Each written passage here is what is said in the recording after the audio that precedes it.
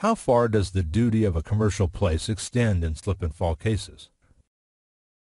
Attorney Guy DiMartino says this duty extends to wherever the company has control on the premises. However, in the state of Indiana, the duty also extends to criminal acts that might happen on the property. If someone went to a shopping center, got out of their car and was mugged, then the shopping center might be responsible for those injuries if the criminal act was foreseeable and the shopping center knew or should have known criminal activity existed in the area. The law states that if a company knew or should have known, it would have a duty to protect their invitee and warn them of the potential danger. For a free consultation, call attorney Guy DiMartino at 219-874-4878 or visit his website at www.michigancityinjurylaw.com.